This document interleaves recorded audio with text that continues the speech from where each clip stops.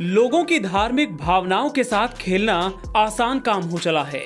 उन्नाव के असीवन थाना इलाके में रहने वाले इस शख्स का कारनामा सुनेंगे तो हंसेंगे भी, गुस्सा भी आएगा और चिंतित भी हो जाएँगे।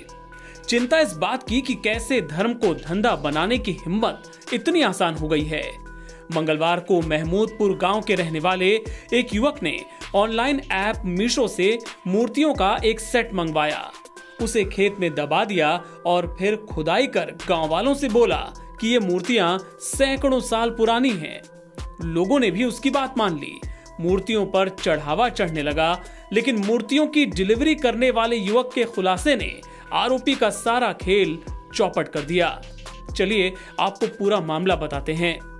उन्नाव के आसीवन थाना इलाके का एक गाँव है महमूदपुर।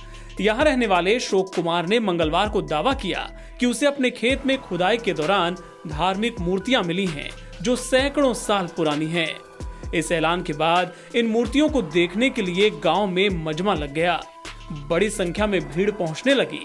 पुलिस को जानकारी हुई तो उन्होंने मूर्तियों को अशोक कुमार के खेत में ही रखवा दिया और पुरातत्व विभाग को खबर दे दी। अगले ही दिन अशोक कुमार ने अपने बेटों रवि और विजय की मदद से खेत में रखी मूर्तियों के ऊपर छाया के लिए तिरपाल लगा दिया। फिर क्या था? आस्था के नाम पर गाँव के लोगों ने मूर्तियों पर जमकर चढ़ावा चढ़ाना शुरू कर दिया। ये सब देखकर पुलिस भी हैरत में थी, लेकिन मामला आस्था का था तो कुछ भी कहने से हिचक रही थी। तभी मामले में बड़ा ट्विस्ट आया।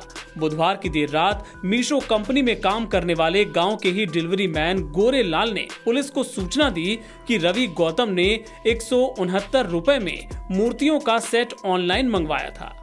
फिर क्या था? पुलिस ने तत्काल सक्रियता दिखाई और फोर्स के साथ मौके पर पहुंचकर पिता और पुत्रों को गिरफ़्तार कर लिया। इस दौरान श्रद्धालुओं को सही मामला समझाने के लिए पुलिस को काफ़ी मशक्कत करनी पड़ी। मंगाया है ये। ऑनलाइन। ये ऑनलाइन मंगाया। ये ऑनलाइन मंगाया है ये। जले वाले नहीं ये ऑनलाइन मंगाया है ये। देख लो ये गोरेलाल ने डिलीवर किया है। ये देख लो पुलिस अधिकारियों ने बताया कि अशोक कुमार उसके बेटे रवि गौतम विजय गौतम को शांति भंग की धारा में चालान करके गिरफ़्तार किया गया है। ऑनलाइन मूर्तियों को खरीदने के बाद ये षड्यंत्र पिता और दो पुत्रों की ओर से रचा गया था।